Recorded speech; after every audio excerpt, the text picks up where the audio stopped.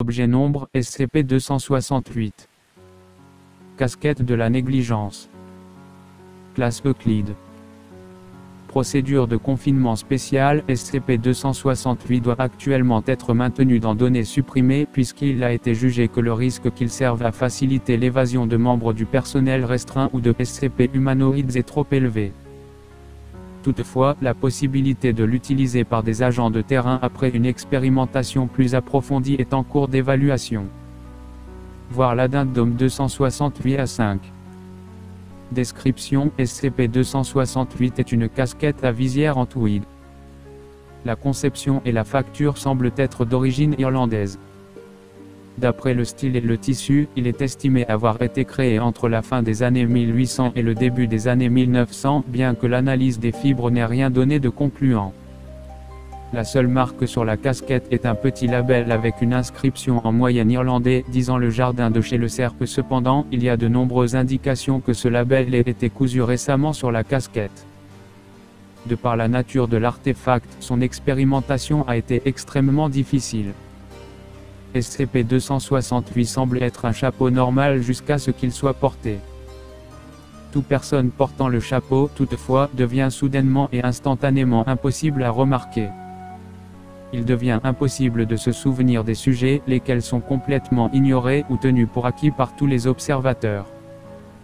Les observateurs, avec une incitation spécifique, sont capables de se souvenir après coup avoir physiquement vu le sujet mais ne peuvent donner aucun détail spécifique autre que avoir vu un homme avec un chapeau.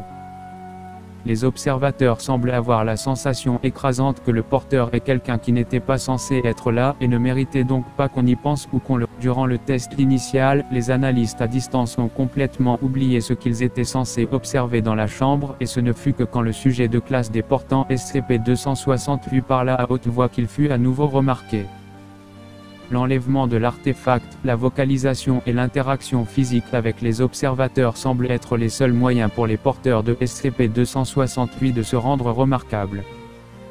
Une fois qu'un observateur a remarqué un individu portant SCP-268, il commence lentement à ignorer le sujet à nouveau sauf s'il reste activement impliqué par le porteur. L'expérimentation révèle que si un sujet porte SCP-268 plus de 20-20 heures cumulées, ses effets semblent persister avec une puissance diminuée sur le sujet même quand il ne porte pas l'artefact. Les tests dans ce secteur ont été prudents à cause de la possibilité de brèches de confinement, mais un incident voire l'addendum 268 à 4 a montré que si l'artefact est porté suffisamment longtemps, les effets sont rendus permanents et irrémédiables.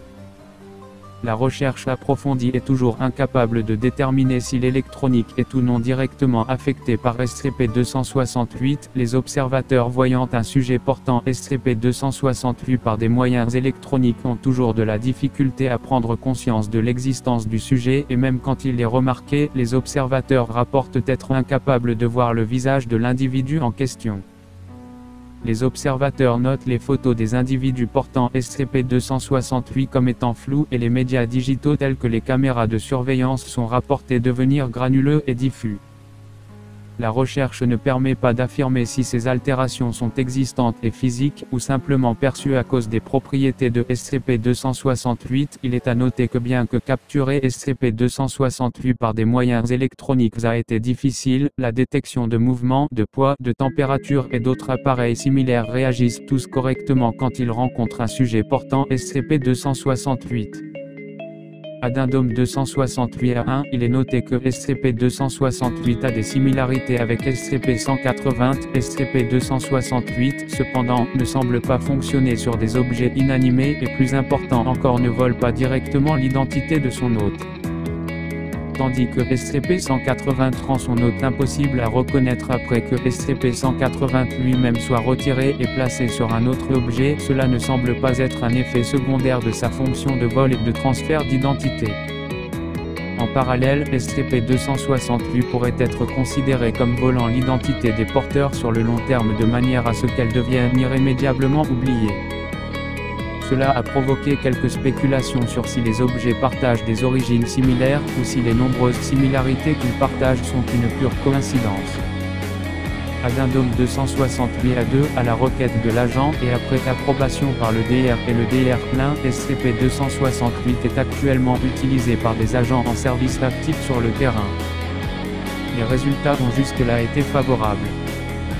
Addendum 268 à 3, les tests sur le terrain ont été suspendus bien que l'agent semble avoir été sur les fiches de paix et les enregistrements, aucun membre du personnel, que ce soit sur le site ou dans le recommandement, ne se souvient avoir connu ou avoir entendu parler d'un agent. Des tests plus approfondis ne doivent plus être conduits que sur des membres du personnel de classe D et pas plus de 10 heures sur un unique addendum 268 à 4, les effets de SCP-268 semblent se renforcer et devenir permanents quand des sujets individuels portent l'artefact durant des périodes importantes de temps cumulé.